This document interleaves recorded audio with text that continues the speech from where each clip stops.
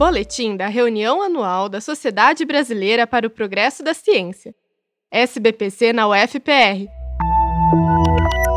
Que políticas públicas devem ser inseridas para incentivar a produção de ciência? Essa coisa de política pública é novíssima na minha vida. Estou engatinhando nesse tema, quase me aposentando e querendo aprender muito sobre isso e até atuar em militância nessa área após a minha aposentadoria. Essa minha ideia tem muito a ver com a minha vivência interna da SBPC nesses dois últimos anos, dentro e fora do contexto de pandemia, negacionismo, sufocamento do financiamento para pesquisa. A resposta mais curta e simples envolve, na minha opinião, dois lados. O primeiro lado, mais óbvio, é o das políticas públicas de financiamento em nível estadual e federal, com real fortalecimento das instituições públicas, democráticas, autônomas, né, de ensino e pesquisa. E o outro lado é o da divulgação científica para toda a sociedade, nas escolas, em todos os lugares, mostrando para onde vai uma parte do dinheiro dos impostos e como a ciência está em tudo na nossa vida, como a ciência resolve problemas, mas também pode gerar outros que em seguida precisam de soluções novas, também embasadas na ciência. Exemplos plásticos. Meu nome é Carolina Freire, sou professora da UFPR e atual secretária regional SBPC Paraná.